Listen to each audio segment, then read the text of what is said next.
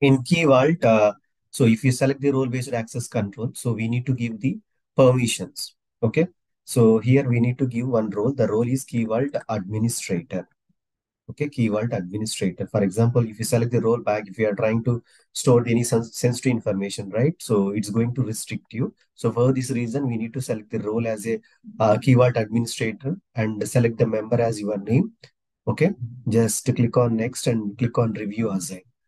Okay, here uh, there is a one role will be created. After the role creation, go and uh, select the secrets. So here we can store your sensitive information into the uh, key one. For example, I want to store the MySQL connection string, right? So I can store the MySQL connection string information into the Key Vault. Just copy it and paste those information into the Key Vault. Okay, like the way you need to store the entire sensitive information into the Key Vault.